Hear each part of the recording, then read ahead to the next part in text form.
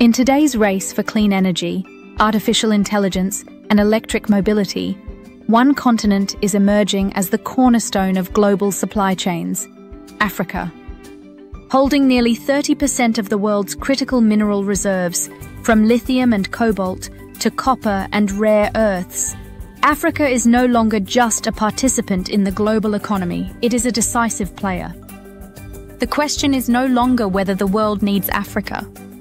It is whether Africa can convert its geological wealth into strategic and sustainable economic power. That equation began to shift with the energy transition.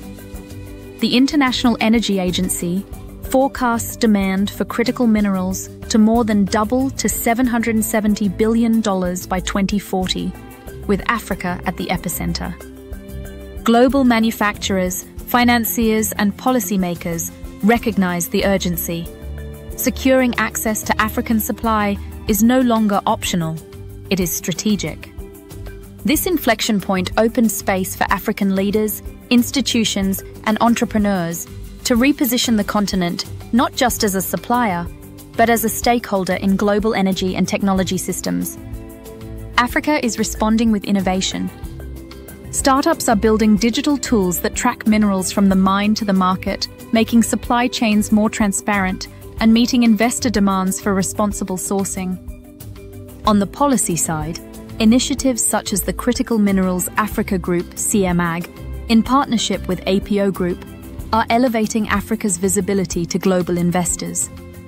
The African Development Bank has proposed creating a currency backed by minerals, aiming to turn export earnings directly into funding for development. A bold new way to unlock value from resources. Investor confidence is rising. By 2040, mineral investment in Africa is projected to reach $50 billion, fueled by surging demand from EV producers AI infrastructure developers, and renewable energy systems. Yet structural challenges persist. China remains dominant in downstream processing and battery material refining, capturing the lion's share of added value. Without investing in local processing, Africa could once again end up exporting raw minerals while paying a premium to import finished goods.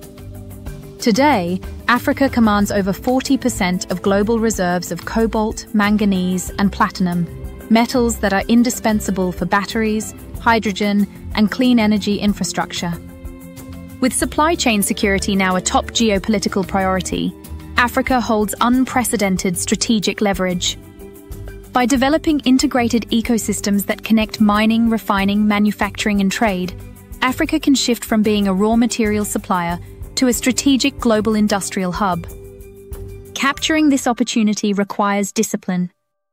Credible governance frameworks, transparent global partnerships, and substantial investment in local processing and technology will be critical. Africa stands at a crossroads. With decisive action, it can transform mineral wealth into a pillar of sustainable industrialization shifting from a historic role as the world's quarry to becoming an anchor of global economic growth. Follow at Spotlight in Africa for more insights on Africa's economic future.